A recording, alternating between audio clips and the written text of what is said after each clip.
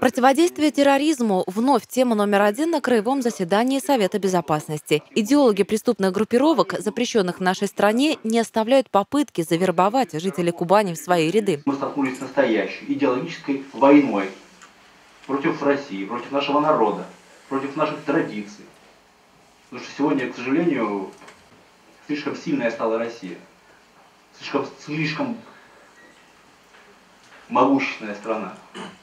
Кому-то, конечно, не нравится. Нравится кому-то, не нравится, но мы были, есть и будем такой могущественной державой.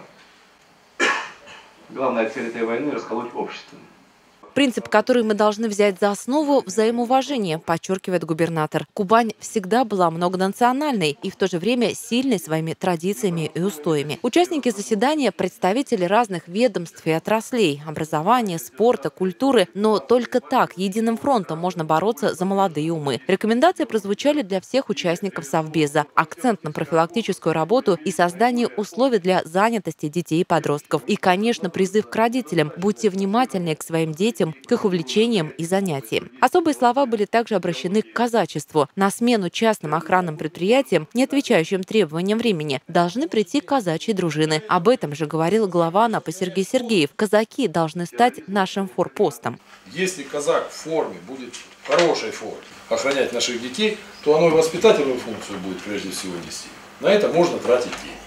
Все решения Совбеза занесены в протокол заседания, а значит, есть строгие сроки исполнения.